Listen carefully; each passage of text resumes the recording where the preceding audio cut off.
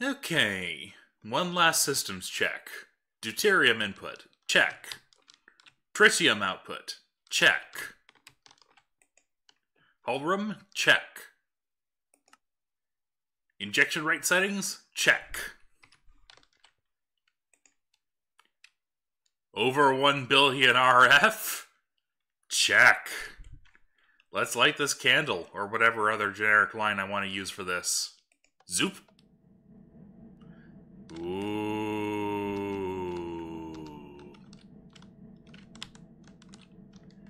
It's a, it's it's it's very square for a sun, which I guess is appropriate.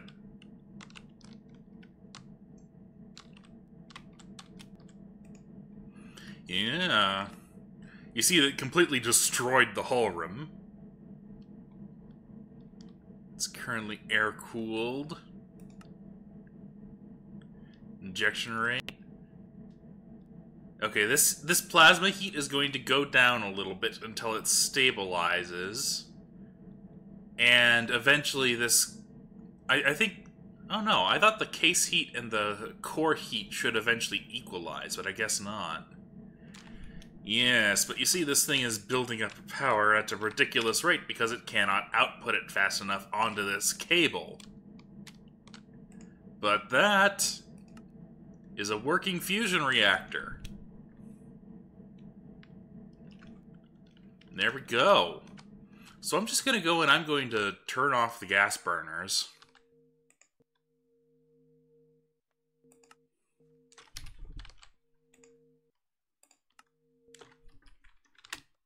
And now our entire base should be running off of this one thing. Yes, the lasers have started building up again.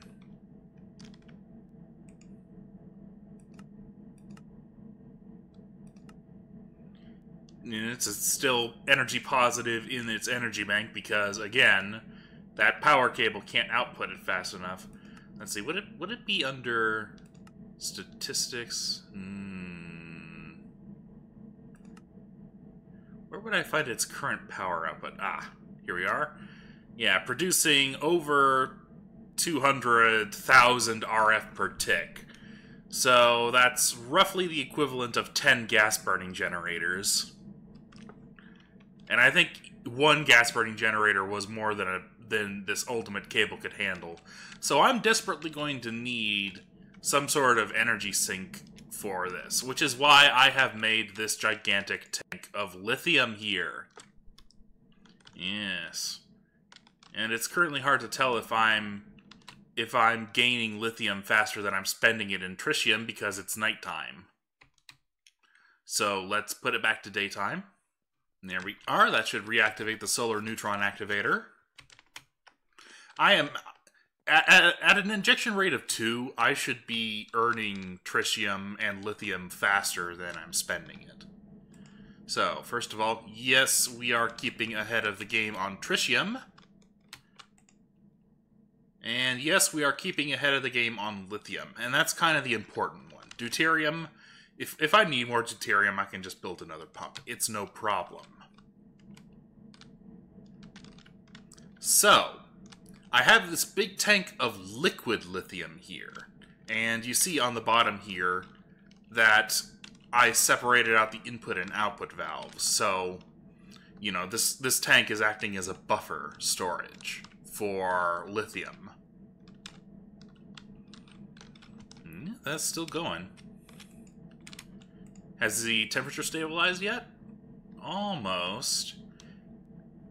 Okay, the uh, the statistics said that at a minimum injection rate of 2, it should be passively generating 200,000 RF per tick. So I imagine that's where it'll stabilize. And I can get it hotter by increasing the injection rate.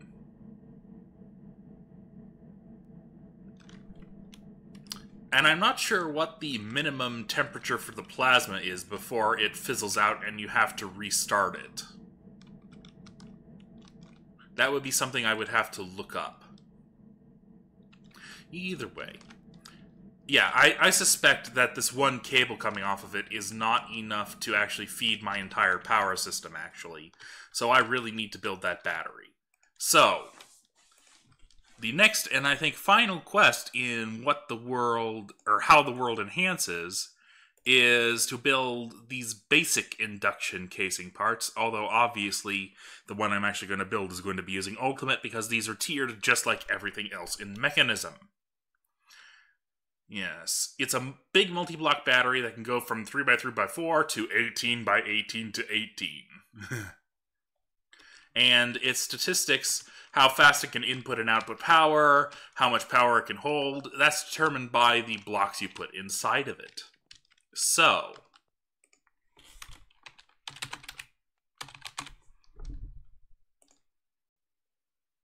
These basic induction casings are fairly easy. It's just steel plate around a tablet.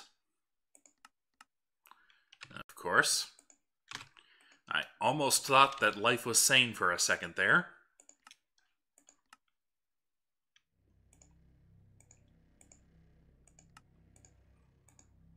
And there we are. And how many do I need for the quest? 16. Really? I'm out of steel plate. Huh.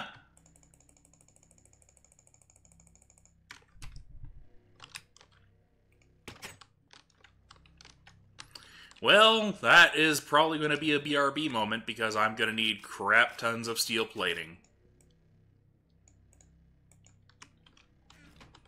Maybe it's about time that I made a proper automated steel setup. Hmm. You know what? Yeah, let's do that. So, a bit of a divergence today, but, uh, well, I need that steel.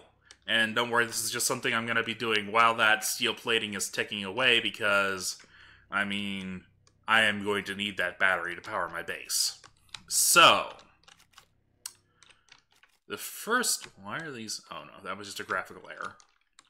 So, the first step of steel production is going to be I am going to need a source of charcoal, which means I need to make an automated wood farm. Now... I could do that the Botania way, which I think would actually be the easiest way. So let's do that. Gonna need a couple earth runes, lots of orange and yellow. Okay? Yes. Now, what these Rannuncarpuses are going to do is these are going to act as the things that place the saplings.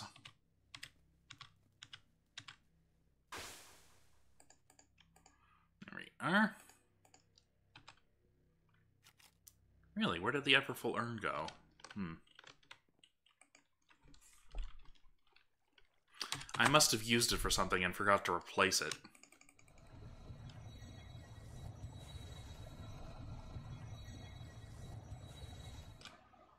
There we are, that's better. Now, for this I'm actually going to want my Manaseer monocle so I can lay these out properly, I think. And I'm not sure if four will be enough, because I'm going to want a pretty large area so that this is relatively fast as a farm. And now for each Rannon, Corp Rannuncarpus, I'm going to want two pieces of dirt, because that'll also determine what blocks they place on. And I think I'll lay out the wood farm, like, mm, right around here. Yeah, somewhere nearish to where the steel will be produced. So, two blocks of dirt. Rannon Carpus. And that'll tell the Rannuncarpus that it wants to place on dirt blocks. So, this is its area of effect. This is how far it will place things without any mana. It goes one, two, three, four, it looks like.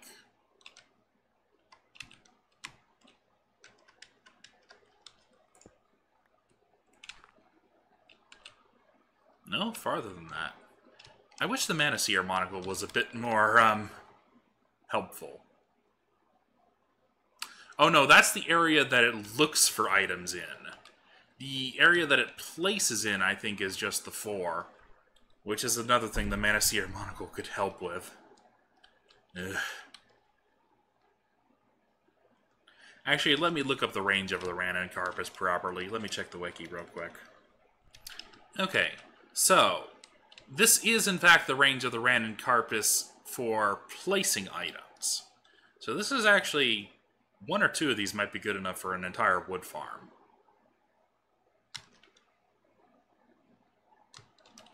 One, two, three, four, five, six. One, two, three, four, five, six.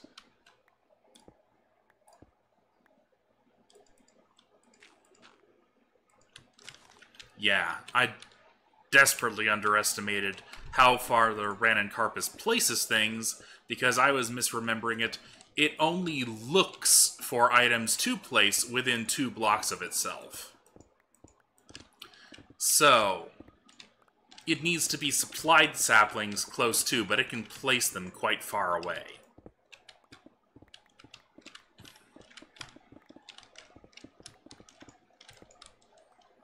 Actually, yeah, I think that that one of them is is good enough.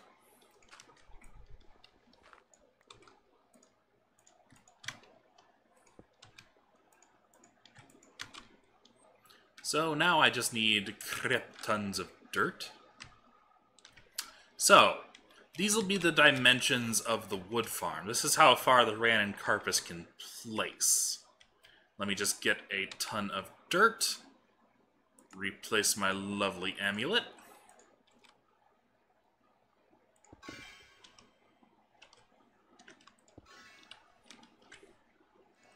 There, that's better.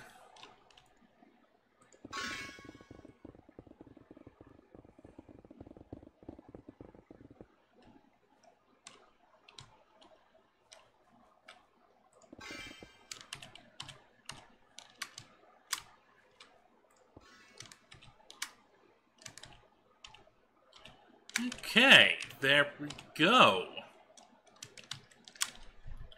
All the dirt is placed down. Now, I just need a mechanism to repeatedly drop saplings into the Rannuncarpus's grabbing area, and a mechanism to cut trees down.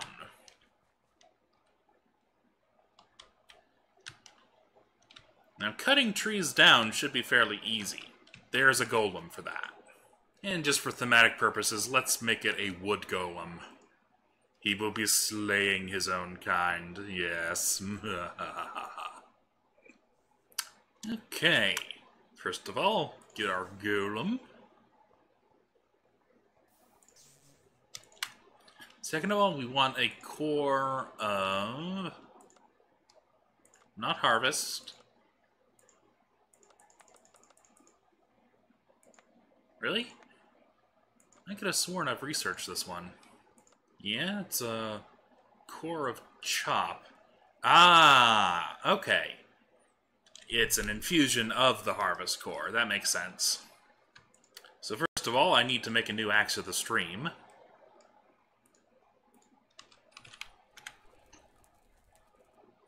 Two water, diamond, and great wood, okay?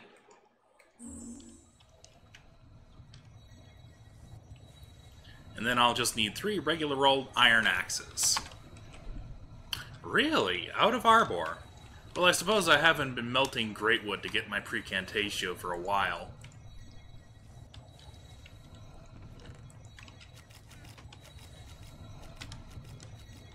I've mostly been melting Netherwart. Or Sandstone. So I guess it would make sense that I would eventually run out of Arbor for like the two things I need it for. Okay, Axe of the Stream.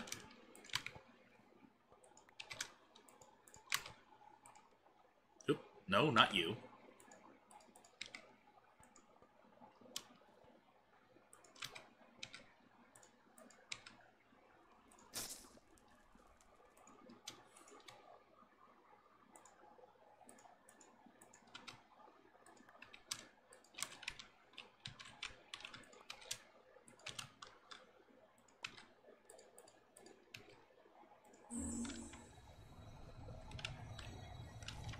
Yeah, sometimes the goop gets stuck. And that sprite will actually stay there for a good couple of minutes before it, like, fades out. But it doesn't affect anything mechanically. Okay, here we are, Golem Animation Core. Now, the most important step.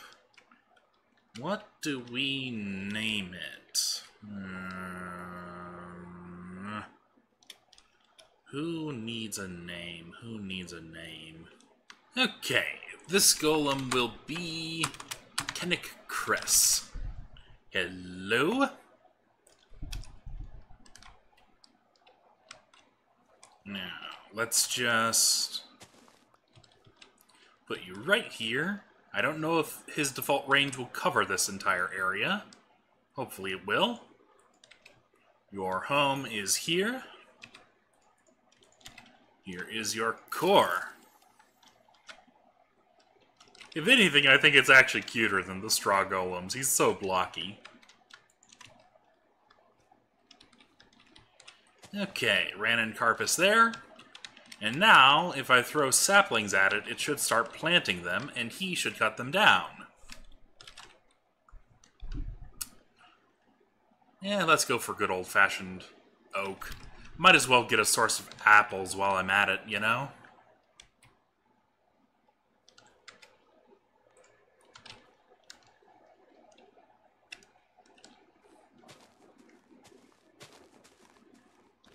Yes, you see it kind of places them in a semi-random scattershot pattern. And actually, before I start filling out, I'd better I better place some solegnolias, just so that I don't mess with the farm whenever I'm in the area. The Everfull urn doesn't fill up the Petal Apothecary quite fast enough. I wish it was, like, instant. Yeah, can't have everything that you want.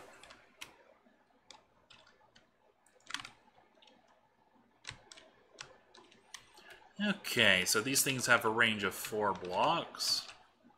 Let's put these three in, and that should, yeah. That should prevent magnet across that entire area. Mm -hmm.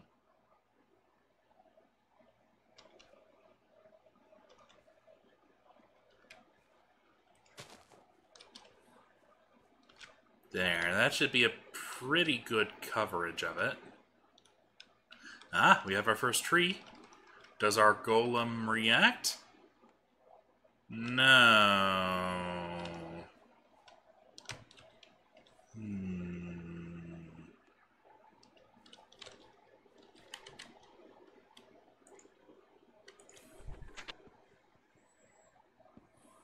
Oh. He just took a little while.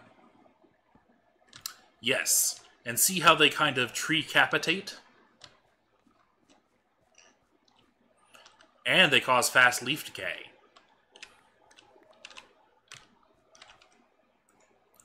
So, we have kind of a harvest pattern set up. Let's see if he can reach the edges of the area.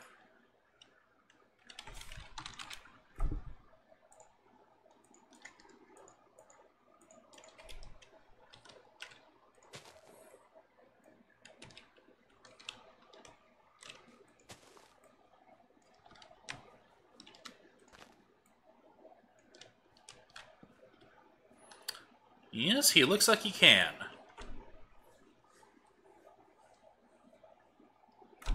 Okay, so this tree farm should be pretty good once I get a means of picking up the items and processing and cycling the saplings. Yes, that fast leaf decay effect looks like it's from the axe of the stream. So this this little golem guy is making use of the tool that's built into his core. That's good. Now, hmm. I may want to use a Hopperhock, just a single floating Hopperhock that is infused with mana. Because I'm not sure if a single Hopperhock could quite cover this entire area without mana. Which means that I want this to probably have a uh, Endoflame or two running off the wood to keep it fed. Yeah. Okay. I can do that. First of all, I need the Hopperhock itself, and I think I'll make this... Mm, yeah, I'll make this a floating Hopperhock.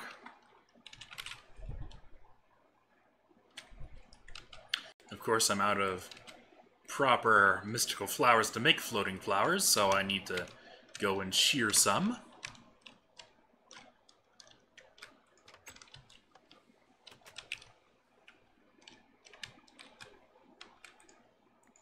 Actually, I have somewhat of an idea. Okay, so... I think I'll actually be using two Hopperhocks.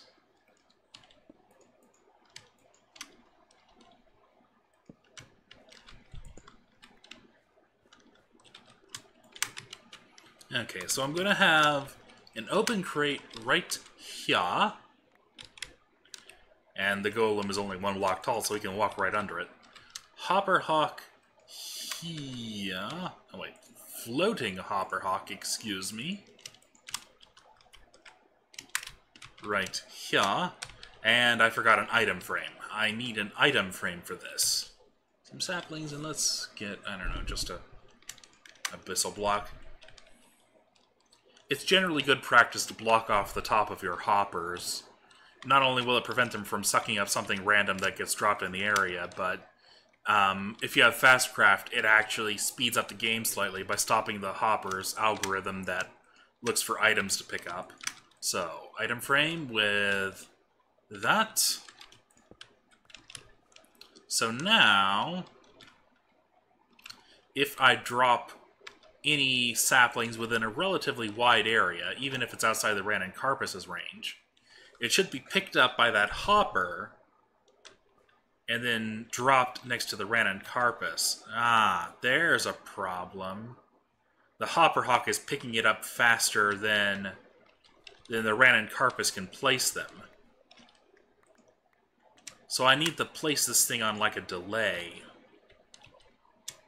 Okay, that can be done. I just need, like, an Automagi Hourglass or something.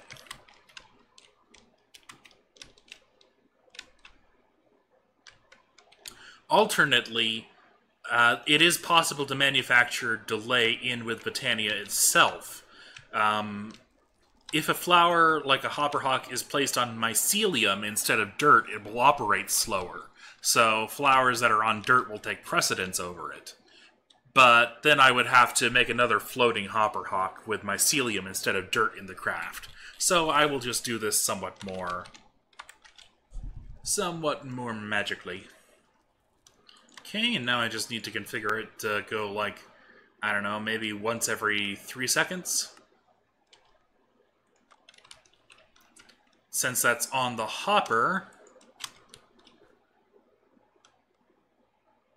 Oh no, I that's the wrong pulse. I need it on on negative pulse.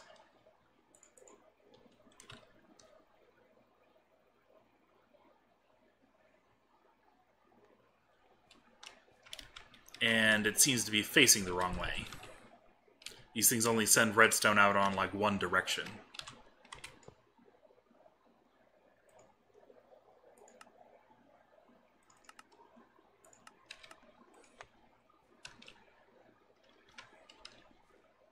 There we go.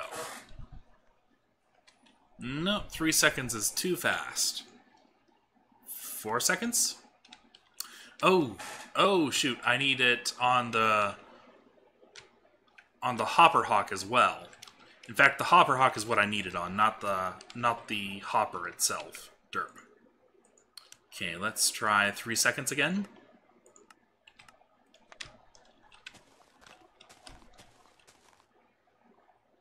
I'd like it to play slightly more than that each time.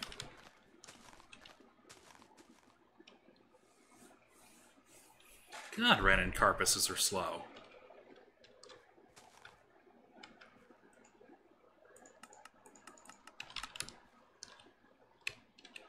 I mean, I guess it doesn't matter. All it needs to do is prevent these things from despawning.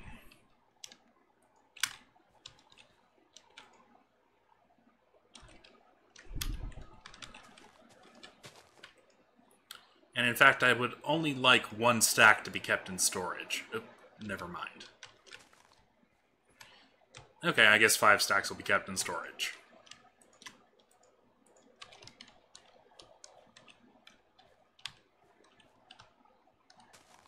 It doesn't particularly matter. Only only 10 seconds worth of entities will be down at any one time, so it won't produce that much lag. Okay. So, what'll happen is this Hopperhock will be picking up only saplings and putting it into this thing to be to be placed down on the Rannuncarpus and then placed in the farm. And that will only store one hopper's worth of saplings maximum, minus, you know, however many it's placing down at any one time. So eventually that'll fill up and all the excess saplings will be sent into storage for use as saplings. I don't know. Exhale of the Horned One is a mildly useful witchery gas. So, and this hopper doesn't necessarily need to be fed, because it should have a fairly good range just for picking up saplings and ensuring it's always positive. Um, sapling positive in terms of circulation. Let's put on our Mana monocle and see if its coverage area is... It should be, like, fairly good.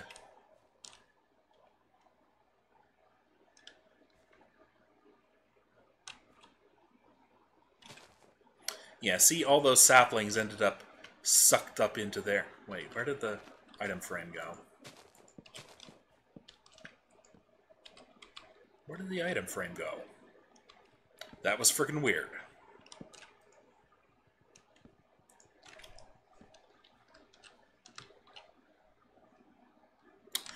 Do leaves knock off item frames?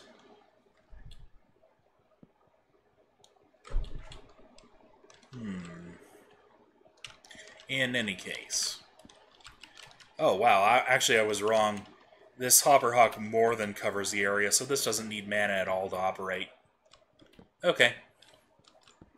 So next up, underground, I'm going to have the the proper item item suction and processing area. Just gonna like, I don't know,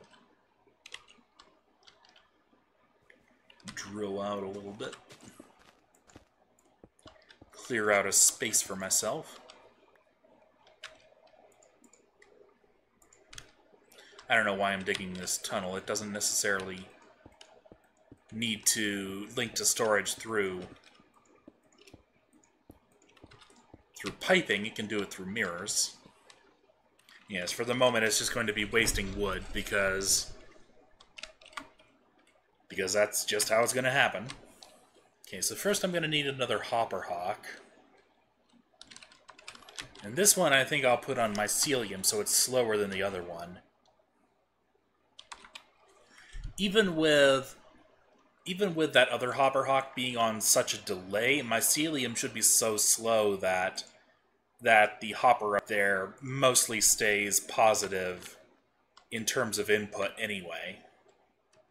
Okay, just gonna have that right there. This one golem is a little bit overworked by this area. Maybe I need to give him some upgrades. Maybe I need to make him like a like a proper yeah, I think the Greatwood Golem might be a little bit too slow and a little bit too wimpy for this. No offense, Greatwood Golem. And this thing lost its item frame again. Um... Okay, so item frames are stupid. Great. This should be an easy enough fix, though. I just kind of need to...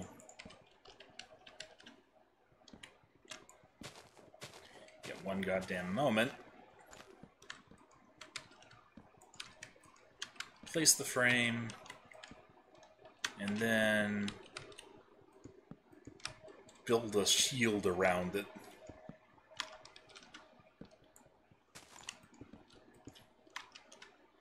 There, that should keep it safe. Yep, I think I need a better golem than this. Well, there was one golem that I was kind of looking at trying out. These Silverwood Golems from Gadomancy. Yeah. They look like they might be pretty darn good. Yeah, Silverwood Golems are actually quite an infusion. A lot of semi-rare Thaumcraft ingredients, quite a lot of Essentia, and it's very hot. It's it's high instability. So, yep, it's just a good thing that my Thaumcraft setup is freaking awesome. Hey, we might as well go all the way. Make this an advanced golem. Zoop. No? Okay, gunpowder, brain, redstone, glowstone, jar. Gunpowder, glowstone, redstone, brain, jar. Yeah. So I guess silverwood golems cannot be made advanced. Well, that's a little bit crap. Oh well. I guess that's what I get for playing with modded golems. Mark II. Yes. Okay, and if I just boop you up... Yes, that separates him from his core. Okay. So, yeah, he looks quite a lot like the wood golem, just... Oh, he even has the silverwood uh, heart node on him. That's interesting. And he has three upgrade slots. So just kind of nudge you out of the way, put the Rannuncarpus back. Hmm. Looks like he's chopping at the same rate.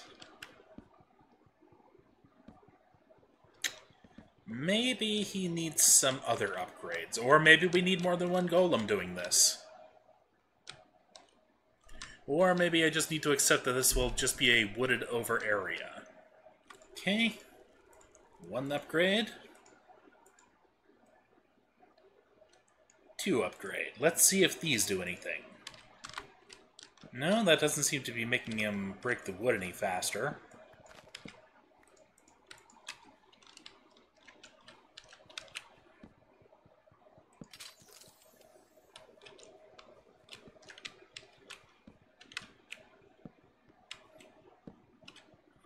Eh, maybe a smidge faster. Yeah, and you know, this... I don't think this two Hopperhock setup is going to work, because this chest is picking up far too many things. So, maybe instead what I'll do is I'll place the chest here. And what that should do is, because this Hopperhock or because this hopper has an item frame on it, it'll prioritize saplings. And only when it is full will saplings go into this chest. While by default, everything else should go into the chest as well. So we should see that hopper, that hawk picking up um, wood now as well. And putting it into the chest, yeah.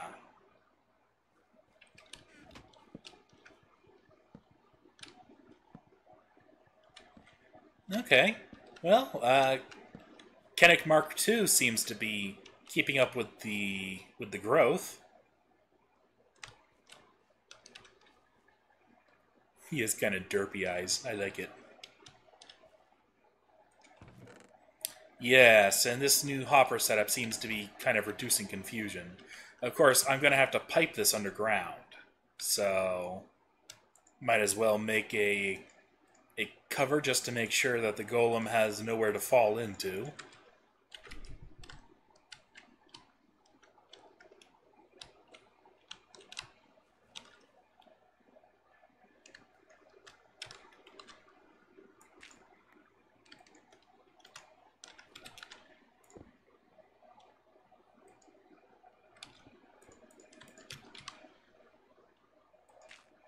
There we go. Now, let's think about how we're going to do item processing. I think what I would like to do is...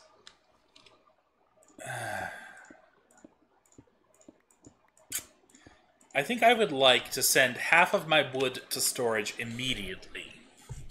Just because, you know, having an infinite source of wood is nice. I have lots of recipes that still call for wood. Technically, they call for spruce wood, but I don't think Applied Energistics should care. So, half of my wood will go to storage, half of it will be burned to charcoal. Yeah, that sounds that sounds like the right ticket. Now, how to manage that? Looks like that Hopperhock doesn't quite cover the entire area that leaves can fall in, but that's okay. I think the way it's going to have to be done is by making a buffer chest and using some logistical sorters.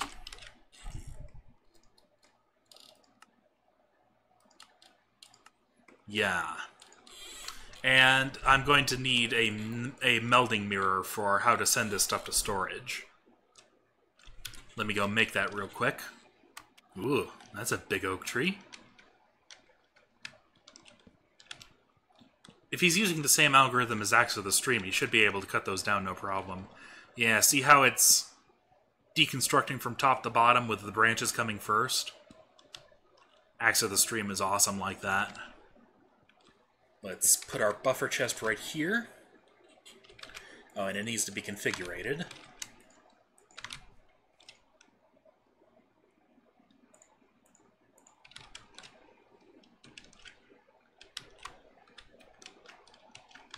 To pull.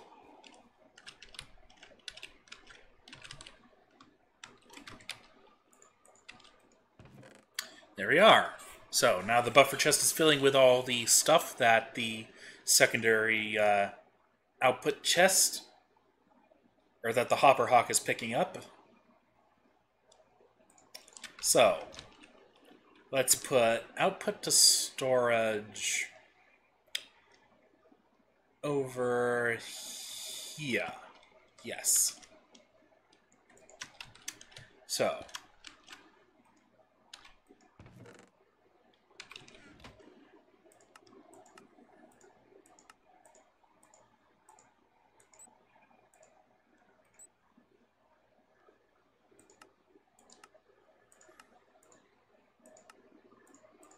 Actually, yeah, let's have that on dark blue.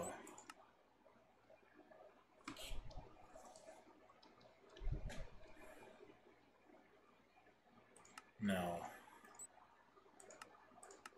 That's not. Oh, it's not outputting to that because it's not actually linked to storage yet. Derp. Which is a good thing because I need to set up chests for oak wood and apples. Drawers for it, rather. Because this is going to be an infinite source. And always practice safe storage.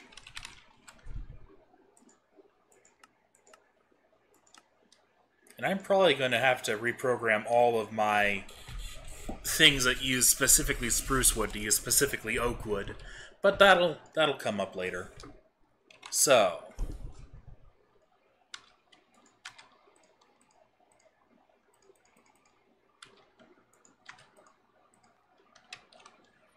I think those drawer keys are in storage now.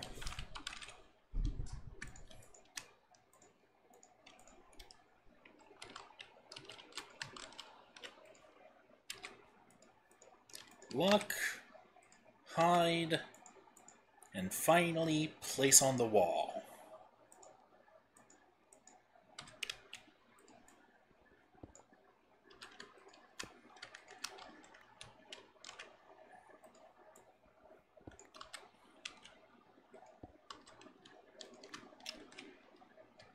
Now, oh wait, first, first, first, first, first, first, I should clear out all my oak wood and then immediately place it right back in so it's resorted into the drawer. And all of my apples do the same.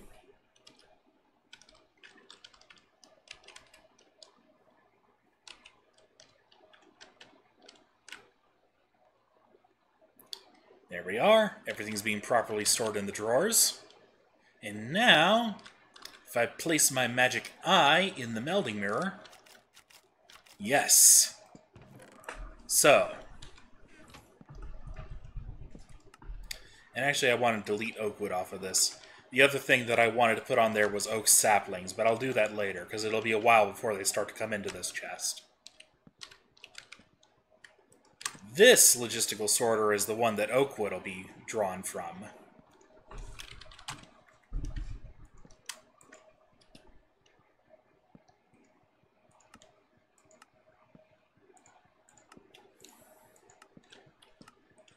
And I'm going to have this on round robin because it's going to be going to two different destinations.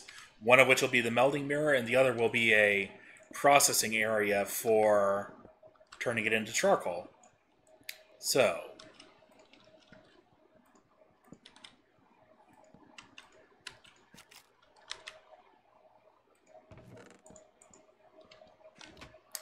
And actually, let's set this thing to stack size 8.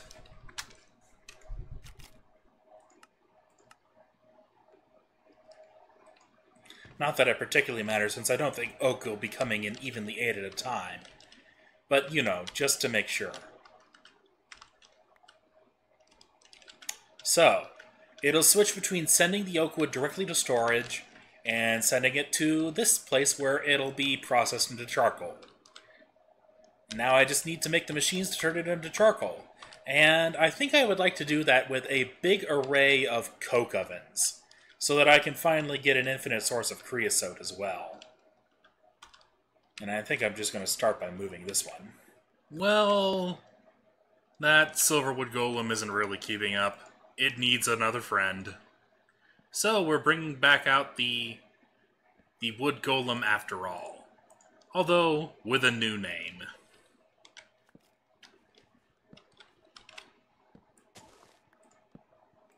This is roughly centerish, so your home should be fine just here. There we go. And hopefully that should keep up. This is getting a little bit ridiculous, but maybe three golems can keep up. Yes. This is a clay golem made from bricks. Might as well try out all the golems while I'm at it, you know? Okay, I've been building up a big collection of coke ovens. You can see this mess of piping that's bringing wood into them and taking charcoal out, as well as dealing with the creosote oil. Uh, right now, the only thing that's slowing it down, really, is I have to wait on seared bricks in my big smeltery. But yes, you see I have the mechanical pipe running down underground over there. It's going to the big creosote tank. So eventually this thing will be full and I'll have to, like, void the creosote, I imagine. But I have routed the charcoal into these bloomery furnaces here. And for my next trick, I am just going to feed it the rest of the resources from my ME net. And I have to set this to pull, because you can see it's already drawing the charcoal out of it. So I'm going to tell this thing to stock... I want to stock more than just one of each. And I'm just going to steal a line off of the bees. Yes, I think this line is running over to... Um, it's running over to where the combs from the old Jungle Bee project is. That's how it's drawn into the network.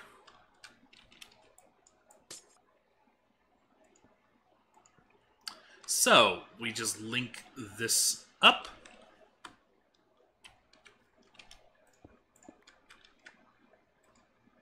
And there we have it.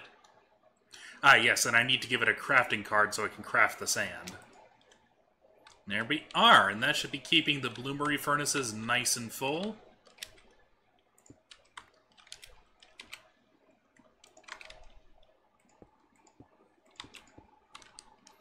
There we are. You see that they're running at full tilt. And I guess I'll just put all this charcoal away.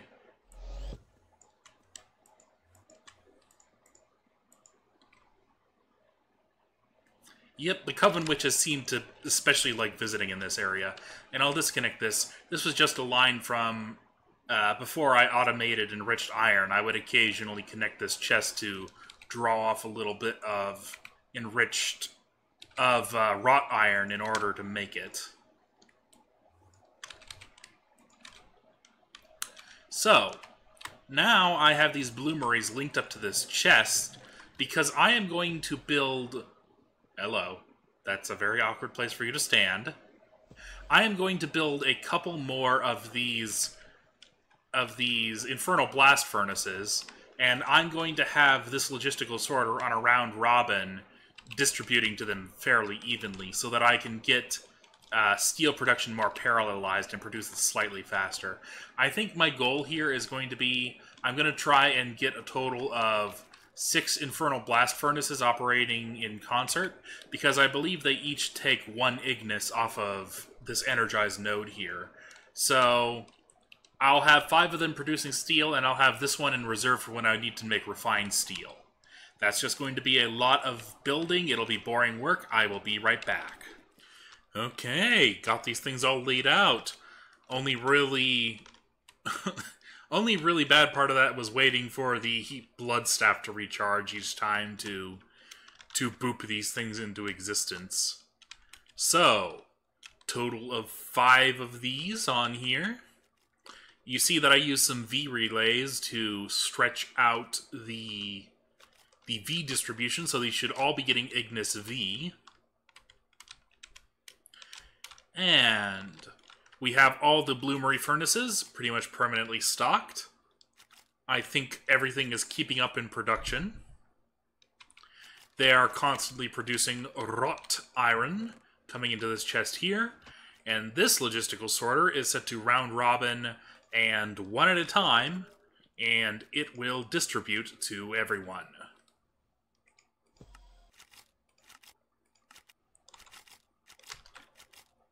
Yes, hello, Andromeda. Glad you could be here for this momentous occasion. Yes. And there you see that once these things started requesting vis, the vis laser there turned red because it's pulling. You see the sparks coming off of the vis relays going into the furnaces and they are just filling up these chests, and those are all piping down into a melding mirror. So that's going into storage, and yes, I do have a compacting drawer on my drawer wall. So we have automated steel! now to actually go build the damn thing that needs it.